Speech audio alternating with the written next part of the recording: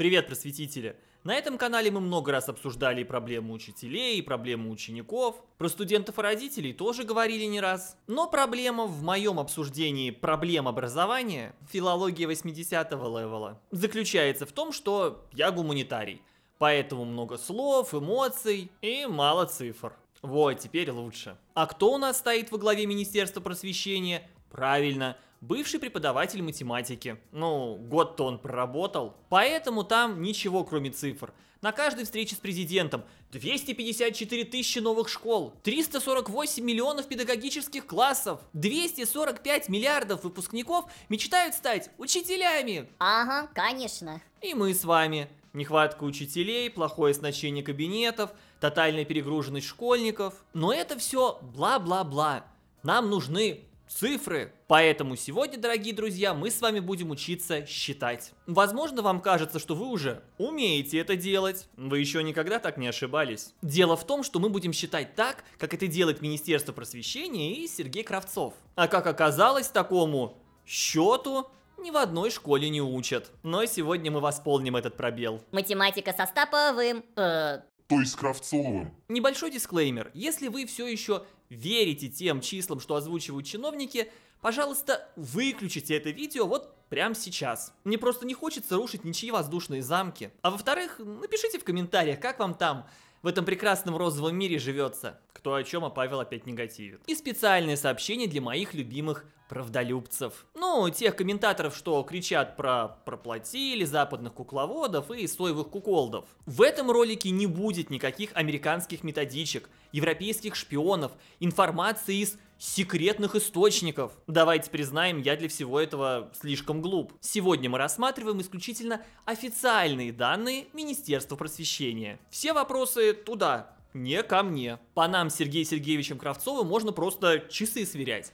Если я в своем ролике говорю о дефиците педагогических кадров, а я делаю это часто, можете не сомневаться. Вот буквально через неделю министр заявит об очередных победах в деле привлечения молодежи в школу. Его послушаешь, так создается впечатление, что образовательные учреждения просто уже лопнуть должны. Но физически места нет для такого количества людей. Причем это всегда сопровождается цифрами, которые, правда, практически любому человеку, хотя бы отдаленно связанному с образованием, говорят о том, что Нами, похоже, сейчас пытаются манипулировать. Судите сами. Открыто X педагогических классов. А можно, пожалуйста, поделиться информацией? А сколько людей из этих классов учителями стали? Просто факт того, что тебя в средней школе запихнули в будущие учителя, мало что значит. Я вот, например, учился в гуманитарном классе. Так у нас на химические факультеты поступило людей больше, чем на гуманитарные специальности. Потому что нас просто поставили перед выбором. Либо 6 физик в неделю в физмате, либо ты гуманитарий. Я гуманитарий, сказал каждый троечник параллели. Люблю ли я литературу? Нет. Историю? Нет. Языки? Нет. Ну, я просто математику больше не люблю. Поэтому я гуманитарий. Следующая порция цифр. Ежегодно педагогические вузы выпускают Y студентов – что на Z больше, чем в прошлом году. Круто! А где информация, сколько из этих выпускников хотя бы до порога школы дошли? Почему этим никто не хвастается? М? Хороший вопрос. И, наконец, мое самое любимое и гвоздь сегодняшнего выпуска. Количество абитуриентов, решивших, и тут должны быть огромные кавычки, широкоформатный монитор потребуется, поступать в педагогические вузы. И тут каждый год рекорд за рекордом. Престиж профессии повышается, Владимир Владимирович. Посмотрите, какие фантастические показатели. При этом озвучивается количество не поступивших в ПЕД, а просто изъявивших желание там учиться. Может быть, у кого-то сейчас мозг взорвется, но некоторые, многие, выбирают несколько вузов. Парочку из них просто про запас. Ну, из серии «Если сюда не попаду», то тогда можно и здесь диплом оставить. Но об этом, как вы понимаете, никто говорить не будет. А то циферки уже не такие красивые. И если бы все ограничивалось только этой полуправдой, то, в общем-то, окей. Потемкинские деревни не вчера придумали, но все гораздо хуже – и вы сейчас поймете почему. Педагогическое образование стало одним из самых востребованных у абитуриентов, желающих его получить на 90 тысяч больше, чем в 2022. Вот уж точно, год педагога и наставника. Вот уж точно. Достижение так достижение. Причина моего сарказма вот-вот станет понятна. Смотрите, какая красивая картинка. И обратите внимание, кто ее опубликовал? Министерство просвещения. А вот и сам текст. На 90 тысяч больше, чем в 2022 году. А теперь давайте попытаемся предположить, что же мы дальше сделаем, мои дорогие любители частного сыска? Вот абсолютное большинство просто порадуется очередной победе нашего образования и пойдет на разговоры о важном. Песни шамана распевать. Но мы не такие. Нам предстоит сложнейшая операция – путешествие в прошлое. В 2022 году подведомственным университетом по направлению подготовки образования и педагогической науки было выделено 36 тысяч бюджетных мест. Это столько же, сколько и в прошлом году, и чуть больше, чем в предыдущем. Но что важно, в сравнении с 2021 годом в полтора раза увеличилось количество поданных заявлений на педагогические направления и специальности и составило более 370 тысяч заявлений. 370 тысяч заявлений. Вот что нам говорит официальный сайт Минпроса. Все ссылки оставлю в описании, ну, чтобы, если что, проверить смогли. А то, знаете, кукловоды, бузатеры. А теперь вернемся вот к этой картинке. А то вдруг вы забыли. Нам осталось только достать наши тетрадочки по математике и записать потрясающий пример. Или задачу под звездочкой. В 2022 году в педагогические вузы было подано 370 тысяч заявлений. А в 2023 355 тысяч. Внимание, вопрос. Насколько больше заявлений было подано в 2023? Нет, я не оговорился. Именно так. Больше! Больше кринжатины, больше! Потому что Министерство просвещения во главе с учителем математики, который мечтал стать врачом, утверждает, что вот это число на 90 тысяч больше. Э, у нас тут новые законы математики, не иначе. Кравцов все грозится российское образование на первое место в мире вывести. Так, по-моему, как минимум математика уж точно впереди планеты всей. 355 минус 370 90. 90 раз хочется мне удариться головой о стену после такого. Вы просто оцените масштаб этого тотального пофигизма. Этим людям настолько на все плевать. Наверное, всем известный мультик в детстве пересмотрели. Им даже цифры рисовать лень. Он слишком сложный, много мороки. Зачем? Это ж надо предыдущий год поднимать, что-то там добавлять. Нафига? На 90 тысяч больше и все.